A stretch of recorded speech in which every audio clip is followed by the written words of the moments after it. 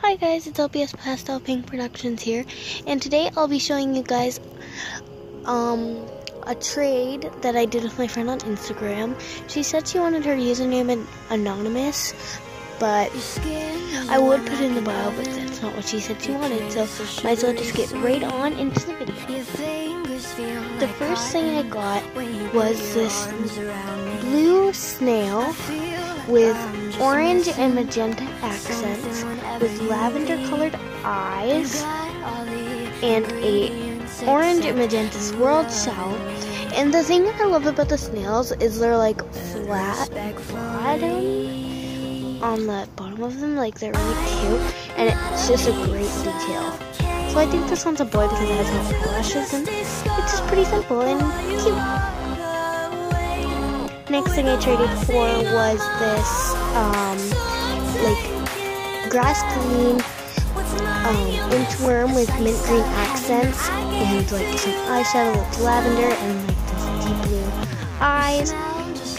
The inchworms are really cute and simple. There's not much to say about them. And it came with this really cute heart collar. Next thing I traded for was this, like, mouse, I think it is. And it's super cute. And it's pretty simple. It's, it has green eyes with stars on its head that will focus. And it's just super cute. Next up I have this monkey and it's purple. And it's one of the same monkeys. I think that's my favorite type of monkey. It's super cute and it's has these nice green eyes, and it's pretty would say all these obviously are pretty simple except for them, and one's coming up next. And it's pretty simple, not much to say, it's just super cute.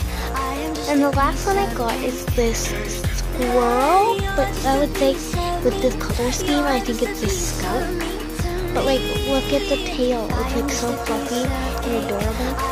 Uh, I think this one might be my favorite out of the trade. It's super cute, and it has a blue magnet, and it's just, I love it. It's so adorable. And that was the video, guys. Sorry it was so short, but I thought I would post today. I was just in a very good mood, and don't forget to like, comment, and subscribe.